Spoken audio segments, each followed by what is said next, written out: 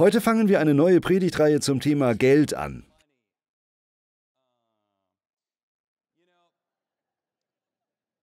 Ich habe vorher sehr damit gekämpft. Ich habe sogar unseren ursprünglichen Plan geändert. Eigentlich wollten wir die Reihe zum Leben mit dem Heiligen Geist fortsetzen, aber ich habe das verschoben. Im Grunde sind wir auch damit fertig. Wer mich kennt, weiß, wie unwohl ich mich als Prediger fühle, wenn es darum geht, um Geld zu bitten. Oder überhaupt über Geld zu reden. Kaum etwas macht die Dinge so komisch wie Geld. Egal ob in Freundschaften oder in der Kirche, es verändert alles und auch Pastoren. Wenn man online nachschaut, was der Hauptgrund ist, warum Pastoren kritisiert werden, ist es was? Geld. Er will nur mein Geld. Er will nur mein Geld. Und das wird auch nicht besser, weil ich Fernsehprediger bin, das gebe ich offen zu. Ich weiß, das überrascht Sie alle. Aber Fernsehpredigern haftet dieser Ruf an, dass sie nur ihr Geld wollen. Beim Nachdenken über dieses Thema merkte ich, dass ich selbst nicht so gut vorbereitet war in der Art, wie ich über Geld denke. Ich hatte eigentlich vor, dass wir drei Wochen darüber reden. Jetzt werden es sechs Wochen. Wir werden auch über das Geben reden. Wir werden tatsächlich über das Geben reden und darüber, wie Geld unser Leben beeinflusst, was es mit unseren Träumen und unseren Wünschen macht. Wir reden darüber, wie viele von uns, zumindest wenn es ihnen so geht wie mir, oft davon getäuscht werden, was Geld uns alles geben soll. Es gibt ein tolles Lied, Bittersweet Symphony.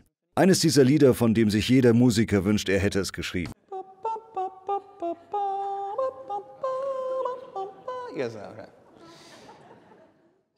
Und im Refrain kommt diese Zeile vor. Es ist eine bittersüße Symphonie, dieses Leben. Du versuchst auszukommen, du bist ein Sklave des Geldes und dann stirbst du. Und manche empfinden das so. Als Gläubige müssen wir allerdings nicht so leben. Wir brauchen nicht in der Geldfalle festzustecken. Letztlich war es dann eine Statistik von Darren Rounsen at The Garden, die mich dazu gebracht hat, dem Thema sieben statt drei Wochen zu widmen. Sind Sie bereit? Es gibt über 2200 Stellen in der Bibel, die sich mit dem Thema Geld und Besitz beschäftigen. Es gibt dreimal mehr Stellen über Geld als über Liebe. Siebenmal so viele Stellen über Geld wie über Gebet und achtmal so viele über Geld wie über Glauben. Geld nimmt thematisch 15 Prozent der Bibel ein. Ein Fünftel der Lehren von Jesus drehen sich um Geld und Besitz. In 17 von 38 Gleichnissen geht es um Besitz und Geld. Jesus hat mehr über Geld gesprochen als über jedes andere Einzelthema außer dem Reich Gottes. Ich schätze, dann können wir uns auch sieben Wochen damit beschäftigen, oder? Ich will es noch einmal betonen, wir fokussieren uns nicht auf das Thema Geben. Wir beschäftigen uns mit diesem einen Wort, Verlangen. Wonach verlangt es Sie? Was verschafft Ihnen Freude? Wie würde es sich anfühlen, im Lotto zu gewinnen? Geben Sie es ruhig zu, es würde sich toll anfühlen. Ich fange mit einer Geschichte an. Wir setzen viel Vertrauen in Dinge wie Geld, Gold, Wohlstand, Aktien, Fonds, Besitz und Erbe. Napoleon III. hatte im 19. Jahrhundert seinen Tisch immer mit dem feinsten Besteck für besondere Gäste decken lassen.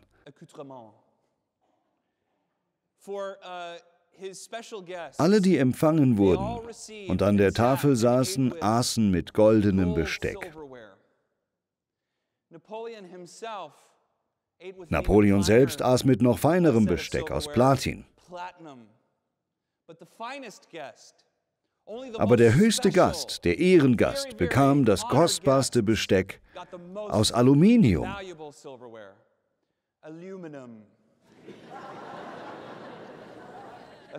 Eine wahre Geschichte. Das edelste Essbesteck, das Napoleon besaß, war aus Aluminium.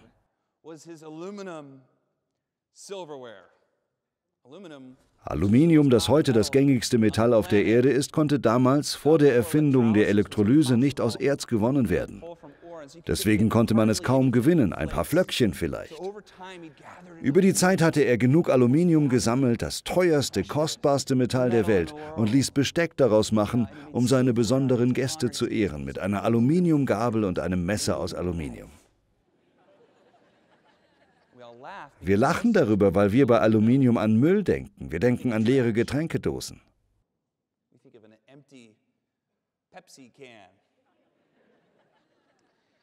Was ist mit dem Aluminium passiert?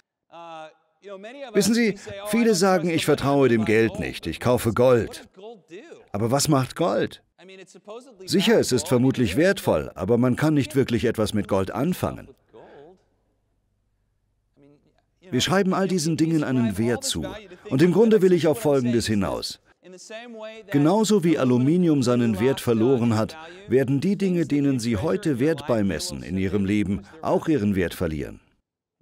Jesus lehrt uns über Schätze, dass es nichts gibt in dieser physischen Welt, das wirklich seinen Wert behält.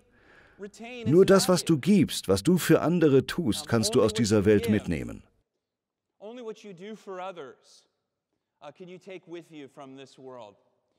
Du bist nackt auf diese Welt gekommen und du gehst auch wieder nackt.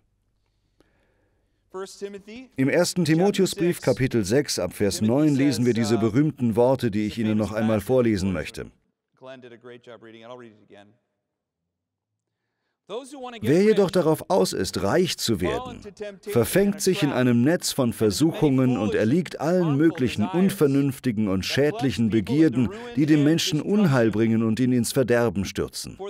Denn die Liebe zum Geld ist eine Wurzel, aus der alles nur erdenklich Böse hervorwächst. Schon manche sind vom Glauben abgeirrt, weil sie der Geldgier verfallen sind und haben dadurch bitteres Leid über sich gebracht. Du aber gehörst Gott und stehst in seinem Dienst.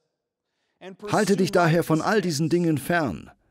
Dein Ziel soll etwas anderes sein, ein Leben, das erfüllt ist von Gerechtigkeit, Ehrfurcht vor Gott, Glauben, Liebe, Standhaftigkeit und Freundlichkeit. Kämpfe den guten Kampf des Glaubens, der zu einem Leben im Glauben gehört, und gewinne den Siegespreis, das ewige Leben, zu dem Gott dich berufen hat. Erinnere dich immer wieder daran, dass du dich vor vielen Zeugen klar und offen zu deinem Glauben bekannt hast. Diese Stelle der Bibel wird am häufigsten falsch zitiert, denn die meisten sagen was? Geld ist die Wurzel allen Übels. Aber hier lesen wir, dass Geld nicht die Wurzel allen Übels ist. Die Liebe zum Geld ist die Wurzel allen Übels. Eine Grundsatzfrage. Ist Geld für einen Christen etwas Gutes oder etwas Schlechtes? Es ist weder gut noch böse. Es ist einfach, was es ist. Es kommt darauf an, wofür wir es verwenden. Es kommt auf die Herzenshaltung von dem an, der es besitzt. Geld ist, wenn es für Gutes oder für Güter benutzt wird, gut. Aber wenn Geld an und für sich gut ist, dann wird es zum Götzen. Das Wichtigste ist, dass wir uns erinnern, dass nicht das Geld selbst, sondern die Liebe zum Geld die Wurzel allen Übels ist. Und das macht für Christen wirklich Sinn. Wenn wir an die Lehren von Jesus denken, spricht er über Liebe, nicht wahr? Liebe deinen Nächsten. Liebe Gott. Liebe Gottes Reich. Liebe die Dinge, die er liebt. Liebe Menschen. Liebe deine Kinder. Aber ein Mensch zu sein, der Geld liebt, ist ein Verrat an allen Grundwerten, die Jesus lehrt. Man kann nicht Geld und Gott gleichzeitig lieben. Man kann nicht Geld lieben und aufrichtig Menschen lieben. Weil die Liebe, die man behauptet, für Menschen zu empfinden, sich immer auch in Opfern zeigt. Menschen, die Geld lieben, opfern Menschen für Geld. Sie opfern kein Geld für Menschen. Deshalb kann man nicht Gott und Geld zugleich lieben. Man kann nicht Gott und dem Geld gleichermaßen dienen. Man kann nicht Gott und das Geld anbeten. Man kann nicht Gott und dem Geld gleichermaßen vertrauen. Entweder traut man dem einen oder dem anderen. Hier steht, sie ist die Wurzel allen Übels und das stimmt. Die meisten Dinge, die uns in den Sinn kommen, die übel sind, haben ihre Wurzel in jemand oder einer Organisation, die Geld mehr liebt als Menschen. Eines der größten und schlimmsten Übel in unserer heutigen Welt ist der Menschenhandel. Die Wurzel dafür ist, dass Menschen Geld mehr lieben als Menschen oder Gott. Die größten Übel dieser Welt sehen auf den ersten Blick oft nicht so bösartig aus, aber wenn man lange genug forscht, findet man heraus, dass den größten Übeln dieser Welt die Gier und die Liebe zum Geld zugrunde liegt. Die Liebe zum Geld ist die Wurzel allen Übels, weil sie so trügerisch ist. Dinge zu lieben wie Geld, statt Menschen zu lieben und Gott zu lieben, ist ein totaler Verrat an allem, woran wir glauben. Und unsere Welt rast weiter diesen dunklen Pfad des Konsumismus herunter.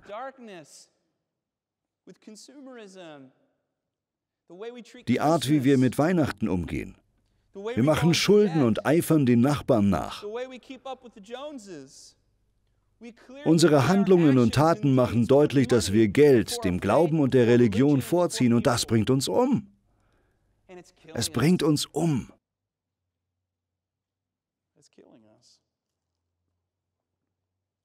Nochmal, Geld selbst ist nicht schlecht. Es ist gut, wenn gute Menschen Geld haben und es ist schlecht, wenn böse Menschen Geld haben, weil Geld auch Macht bedeutet.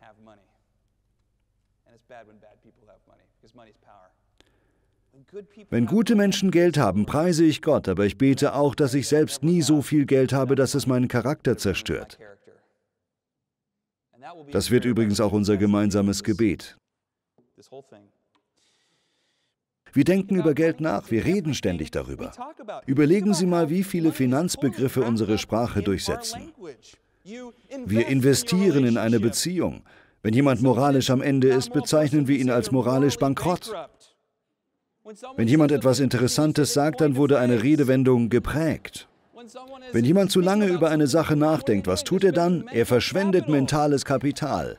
Wir sagen, ich schulde Ihnen Dank. Wenn jemand erschöpft ist, sagt er, das hat Kraft gekostet, stimmt's?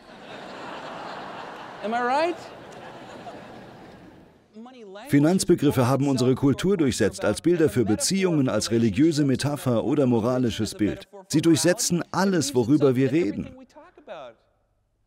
Das ist an sich nicht schlecht. Wir verstehen einander, weil wir hier Geld verstehen. Wir sprechen die Geldsprache und wissen, was wir meinen. Geld ist eine Wurzel unserer Kultur und deshalb ist es nötig, darüber zu reden. Was, wenn Geld als solches schon ein Zweck ist? Jemand fragt, warum hast du das und das getan? Und sie antworten, na, es hat sich ausgezahlt. Jemand sagt, okay, ja, das macht Sinn, das ist ein guter Grund. Komisch, dass sie das nicht witzig finden. Geld sollte kein Grund für irgendetwas sein, das wir tun. Das Wort Geld oder Moneten kommt von der heidnischen Göttin Juno. Juno war eine der berühmtesten Göttinnen auf den sieben Hügeln von Rom. Juno hatte auch einen besonderen Nachnamen. Sie war die Göttin der Ehe und Fruchtbarkeit. Sie war in eine Kriegsrüstung gekleidet, weil sie auch die Verteidigerin von Rom, der Hauptstadt war. Ihr Nachname war Moneta. Moneta bedeutet auf Latein Warnung. Das gesamte Geld von Rom wurde in dem Tempel der Göttin Juno geprägt und von dort, von Juno Moneta, haben wir das Wort für Geld, Moneta.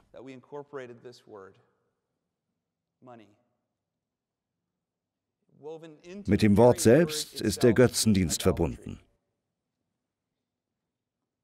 Es kommt von einem Götzen. Was ist nun ein Götze?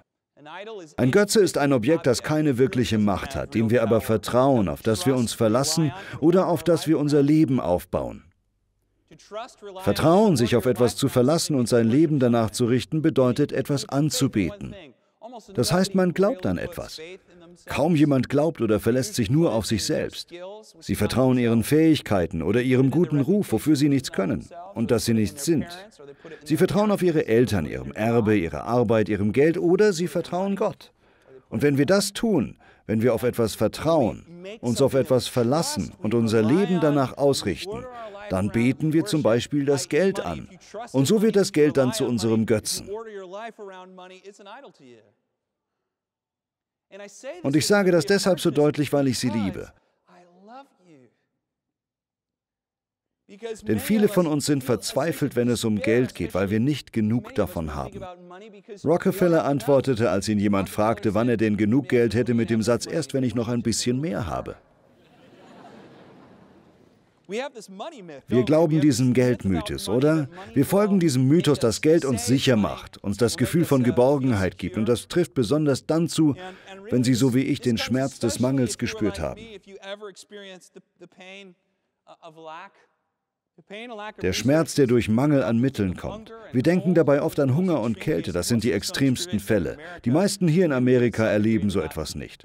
Vielleicht in einem gewissen Maß, aber nicht so schlimm. Es gibt eine Art tieferen, existenzielleren Schmerz. Und das ist der Schmerz des persönlichen Wertes. Eine Frage, die ich am meisten von allen hasse, weil ich Christ bin, ist die Frage, was ist sein Nettowert? Der Nettowert ist, was jemand an Rücklagen gegenüber seiner Schulden hat. Echt jetzt? So wird ein Mensch bewertet? Das ist, was dieser Mensch wert ist? Das ist ein Spiegel dessen, wie unsere Kultur Menschen ansieht und die Armen spüren das. Und das Schlimmste, das Schlimmste überhaupt am Armsein ist, dass man nicht geben kann. Man kann sich nicht beteiligen. Die Kinder sollen Zahnspangen bekommen oder Kleidung, mit denen sie zur Schule gehen können, die keine Löcher haben. Es ist ein Elend, wenn eine Mutter ihren Kindern keine Kleidung ohne Löcher kaufen kann. Und dann denken wir, wir sind nichts wert und Gott hat uns vergessen. Und wenn wir von Segen sprechen, denken wir, das heißt Geld, nicht Freude, Glück oder tiefe bleibende Erfüllung. Wenn wir sagen, Gott hat mich gesegnet, meinen wir, er hat mir etwas Geld gegeben. Ich bin nicht so sicher, ob Gott dieses Geld wirklich gegeben hat. Wir im Westen glauben diesen Mythos, der so fest sitzt. Ihr könnt etwas anderes sagen, bis ihr blau anlauft, aber im Herzen sagt ihr, wenn ich erst genug Geld habe, bin ich sicher, bin ich frei und erlebe vollkommene Erfüllung. Ich möchte Ihnen eine faszinierende Geschichte erzählen. Hat jemand schon einmal ein Windhunderennen gesehen? Unglaublich, diese Hunde sind irre, oder? Ihnen wird eigentlich ein Streich gespielt, weil sie einen Plastikhasen jagen. Diesen Hasen kann man so schnell laufen lassen, wie man will. Und dieser Hase wird den Hunden immer ganz knapp vor der Nase gehalten. Jeder denkt, die Hunde rennen zur Ziellinie, aber nein, sie jagen den Plastikhasen. Bill Gaultier hat einmal die Geschichte erzählt von einem Mann, der in Florida Hunderennen veranstaltet hat. Die Tore öffnen sich, die Hunde rennen los und dieser blöde Hase, der auf der Spur läuft, den sie hassen, den sie jagen müssen, fiel aus der Schiene, auf der er läuft. Und die Hunde fangen den Plastikhasen. Als sie ihn hatten, wurden sie ganz verrückt und wussten nicht, was sie jetzt machen sollen. Sie sehen sich an, was machen wir denn jetzt? Keine Ahnung. Wir sollten den gar nicht erwischen eigentlich. Ich habe mein ganzes Leben lang diesen Hasen gejagt. Jetzt habe ich ihn endlich. Das ist alles, was ich je wollte. Davon habe ich immer geträumt und jetzt habe ich es. Die Hunde sehen sich an und fragen sich, was jetzt? Essen wir ihn? Zerreißen wir ihn? Keine Ahnung. Und wollen Sie was Witziges hören? Eigentlich nicht witzig, sondern eher traurig. Das hat die Rennhunde für immer ruiniert. Nach diesem Moment, wo sie den Hasen gefangen haben, taugen sie für kein Rennen mehr. Die Tore öffnen sich und sie denken, ach, der Hase, den brauche ich nicht, geht mich gar nichts an. Ich bin nicht euer Clown.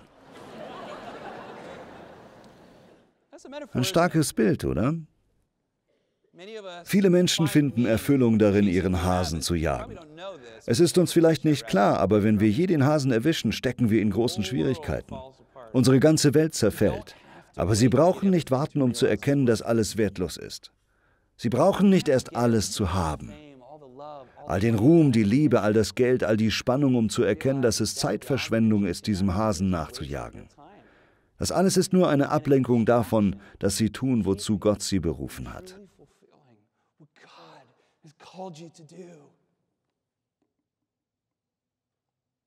Wir alle brauchen Geld. Jeder will Geld. Die meisten von uns haben Geld zu einem Ziel gemacht, nicht zu einem Mittel für etwas Größeres. Uh, Geld wird sie nicht beschützen. Geld kann sie nicht retten. Der Tod holt sie, ob es ihnen gefällt oder nicht. Früher oder später können sie nichts mitnehmen. Diese Predigt geht eigentlich nicht über Geld.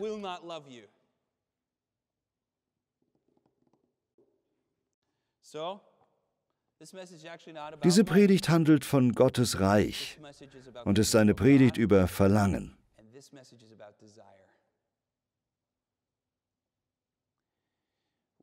Was passiert, wenn wir vom Verlangen und Gier nach Geld zum Verlangen nach den ewigen Hügeln kommen, zum Verlangen nach Gott? Wir verlangen danach, Jesus zu kennen und ihn persönlich zu erleben und ihm alle Tage unseres Lebens zu folgen. Was wäre, wenn wir diese Welt zwar nackt, aber mit der Erinnerung an Menschen verlassen, deren Leben gerettet, begleitet und heil wurden?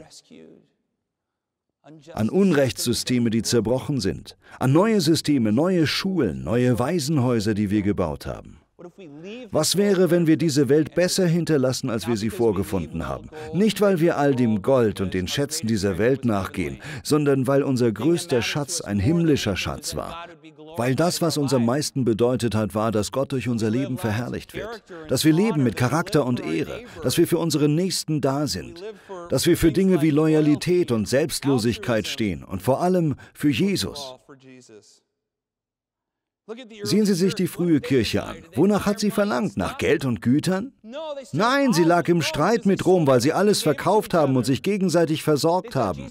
Sie waren sicher, dass Jesus jeden Augenblick wiederkommt, und so haben sie alles weggegeben. Sie haben ihr Land verkauft, ihr Essen und zogen zusammen in Kommunen. Und dahinter lag ein Herzensanliegen. Der Herzschlag darin war Maranatha.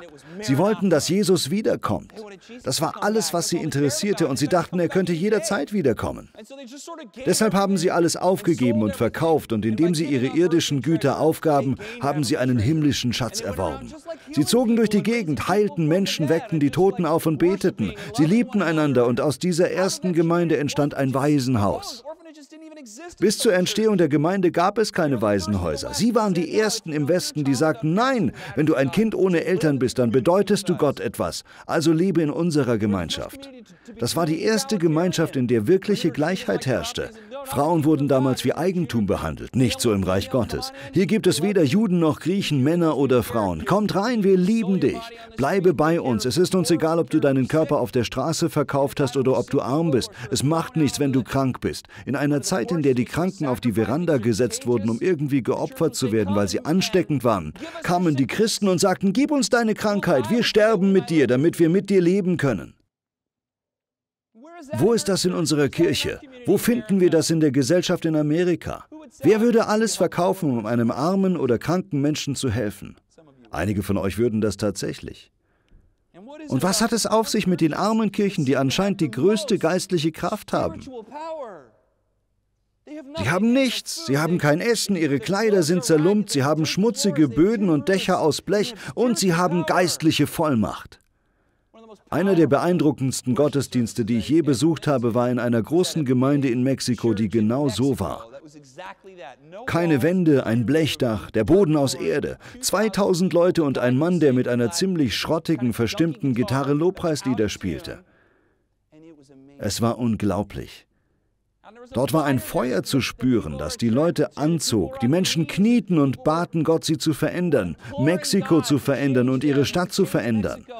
Man sah dort einfache Menschen, junge und alte, arme Leute, die ihr Leben Gott zu Füßen legten und sagten, Gott, wir wollen dich und wir verlangen nach deinem Reich. Alles andere war egal und es ging nicht darum, schöne Sachen zu haben. Thomas von Aquin besuchte den Papst und sie gingen spazieren. Der Papst war sehr stolz auf seine Schatzkammer.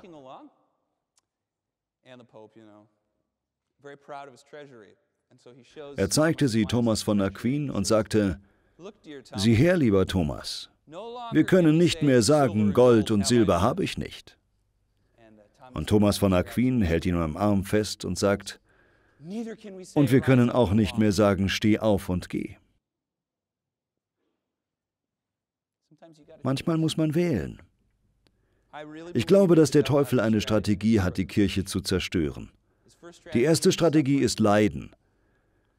Er versucht, die Kirche ins Leid zu treiben, versucht sie zu töten, sie zu verfolgen, die Regierungen dazu zu bringen, dass sie Gemeinden schließt. Er versucht sie zum Schweigen zu bringen und sie zu unterdrücken. Wenn das nicht funktioniert, versucht er es mit Geld. Er stopft sie aus und macht sie fetter und fetter. Fatten them up. Fatten them up. Seht mal, ich möchte das noch einmal betonen. Gute Menschen sollten Geld haben. Gute Menschen. Wir wollen, dass die guten Menschen Geld haben und die Bösen arm sind. Kann ich ein Amen hören?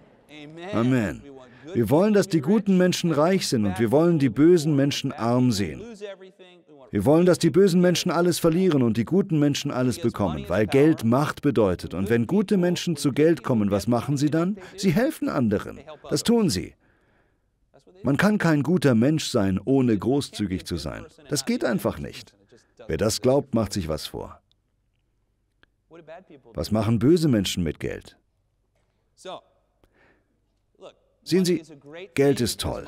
Man kann mit Geld Menschen ernähren, Medizin kaufen, Dächer kaufen, Partys veranstalten und Feste, die gut sind. Mit Geld kann man Menschen segnen und anderen helfen. Wir wollen, dass die guten Menschen Geld haben, damit dieses Geld etwas Gutes bewirken kann. Kann ich ein Amen hören? Ich lade Sie jetzt ein, dass wir gemeinsam beten.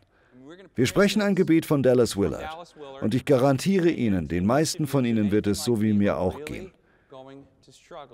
Sie werden zu kämpfen haben, dieses Gebet zu sprechen. Ich hoffe, dass wir am Ende dieser sieben Wochen dieses Gebet mit großem Eifer beten. Das Gebet geht folgendermaßen. Gib mir bitte nicht mehr Geld, als mein Charakter aushält. Wenn Sie das nicht sagen können, hat Geld einen höheren Rang in Ihrem Leben als Ihr Charakter. Geld ist dann wichtiger als Güte. Geld ist ein Götze. Zerstören Sie diesen Götzen. Seien Sie frei. Seien Sie frei. Vertrauen Sie nicht dem Geld. Vertrauen Sie nicht auf Ihre Arbeit, Ihren Wohlstand, Ihre Kleidung, sondern vertrauen Sie Gott. Er sorgt für Sie. Er ist treu. Geld ist untreu. Gott wird Sie nie verlassen, das Geld schon. Vertrauen Sie Gott. Er ist treu. Vertrauen Sie auf ihn und beten Sie von ganzem Herzen, Herr, bitte gib mir nicht mehr Geld, als mein Charakter aushält. Ich würde lieber sterben, als dich zu verlieren. Ich will, dass dafür mein Herz schlägt. Ich will für dich brennen, Herr. Ich will für dich leben. Ich will, dass mein Leben Bedeutung hat. Kann ich ein Amen hören? Ich will der Mensch werden, der betet, Herr, bitte gib mir nicht mehr Geld, als mein Charakter aushält. Gib mir nur genug. Kann ich ein Amen hören? Lassen Sie uns die Augen schließen. Strecken Sie Ihre Hände so vor sich aus. Das ist ein Symbol, dass wir alles loslassen.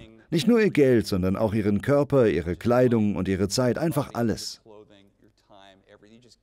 Sie geben einfach alles dem Herrn. Und wir sagen gemeinsam, Herr, bitte gib mir nicht mehr Geld, als mein Charakter aushält. Sagen Sie es mit mir? Herr, bitte gib mir nicht mehr Geld, als mein Charakter aushält. Alle sagen Amen. Ich kann Sie beruhigen, wenn Ihnen dieses Gebet einen Stich ins Herz versetzt hat, sind Sie ein ganz normaler Mensch. Ich gratuliere. Sie denken, ah, ich bin mir nicht ganz sicher, das ist vielleicht der eine Bereich, wo es Gott nicht ganz gelingt. Es macht mir nichts aus, es auf die harte Tour zu lernen. Jemand dachte bestimmt, Gott, ich will es auf die harte Tour lernen. Gib mir mehr Geld, als mein Charakter verträgt. Seht mal, hier geht es wirklich um Liebe. Ihr werdet geliebt. Ihr seid mehr wert als ein See voller Geld. Wussten Sie das? Sie sind mehr wert als alle Sterne am Himmel. Sie sind mehr wert als jedes Sonnensystem. Sie sind mehr wert als jede Firma und alle Aktienmärkte und Fonds zusammen. Sie sind mehr wert als aller Reichtum der gesamten Menschheitsgeschichte zusammengenommen und in einen großen Raum gepackt. Sie sind viel mehr wert. Wissen Sie, wie viel Sie wert sind? Sie sind den Leib und das Blut von Jesus Christus wert. Und es gibt nichts Kostbareres. Das ist Ihr Wert.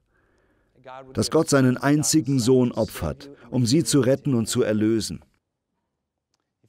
Sie alle hier in der Kirche, bitte schließen Sie einen Moment die Augen. Liebe Zuschauer am Fernseher, wenn Sie meine Stimme hören und Gott kennen möchten oder besser noch wollen, dass Jesus Sie kennt, dann beten Sie mit mir und nehmen Sie Jesus Christus in Ihr Herz auf, so dass es keine Götzen mehr gibt, sondern dass er Ihr ganzer Schatz ist.